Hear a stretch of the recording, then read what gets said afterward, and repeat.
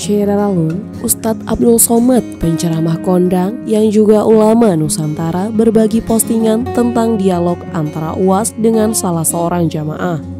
UAS menjelaskan bahwa Mekah punya matlah sendiri dan Pekanbaru punya matlah sendiri, sehingga Mekah punya syuruk sendiri dan Pekanbaru juga punya syuruk sendiri. Makanya jika kita di Pekanbaru ikut Mekah berarti salat juhur kita jam 15 lewat 30 waktu Indonesia Barat. Lalu jamaah bertanya mengapa maka Idul Adha pada Sabtu 9 Juli, sedangkan kita Idul Adha Ahad 10 Juli.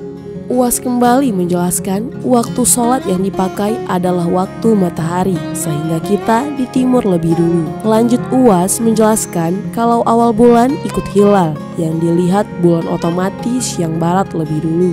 Jamaah lain yang bertanya bukankah puasa Arafah itu ikut waktu wukuf? Jamaah lain ada yang bertanya, bukankah puasa Arafah itu ikut waktu wukuf? UAS menuturkan wukuf ikut tanggal 9 dan tanggal 9 itu ikut tanggal 1 Hijriah dan penentuan tanggal 1 ikuti hilal.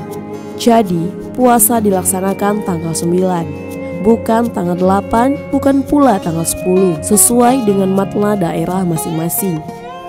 UAS kemudian menjelaskan cerita zaman salaf ketika Quraif dari Madinah ke Syam. Di Syam, mereka melihat hilal dalam Jumat. Ibnu Abbas di Madinah melihat hilal pada malam Sabtu. Terjadi perbedaan antara Syam dengan Madinah perkara matla, apalagi Mekah dan matla Pekanbaru.